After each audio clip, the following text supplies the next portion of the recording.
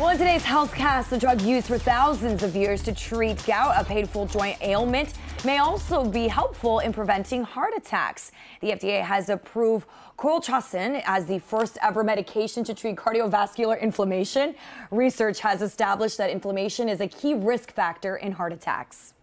The benefit of of using colchicine seems to be that uh, there is a uh, beneficial effect on the cause of coronary artery disease, which more and more evidence suggests is due to a low-grade inflammation uh, of the coronary arteries. And that uh, inflamed coronary artery will allow cholesterol to be deposited, and that's how we develop significant blockages.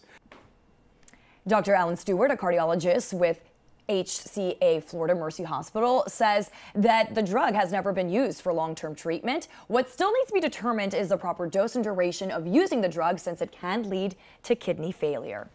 And a new study may have found the secret to morning sickness. Researchers say the nausea and vomiting that many women experience early in pregnancy is primarily caused by a single hormone.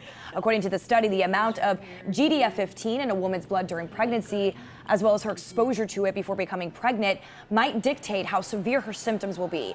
More than two thirds of women experience morning sickness during their first trimester.